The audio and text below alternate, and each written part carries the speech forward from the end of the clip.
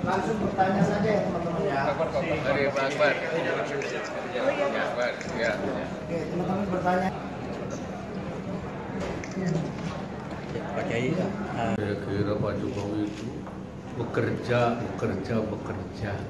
Dari kerja itu lahir citra bagus. Saya kira itu kan konsekuensi saja. Bukan niat mencari pencitraan, tapi niatnya itu eh, bagaimana membangun kesejahteraan masyarakat. Nah dari kerja-kerja itu kan orang lahir pencitraan. Jadi bukan membuat pencitraan. Pencitraan itu untuk apa? Tapi kerjanya itu yang menimbulkan kemudian ada citra yang bagus. Barangkali itu menurut saya. Ini tanggapannya menurut Kiai berlebihan itu ya? Tanggapannya Pak Rizik. Iyalah, masa Pak Jokowi ini membuat mencari pencitraan.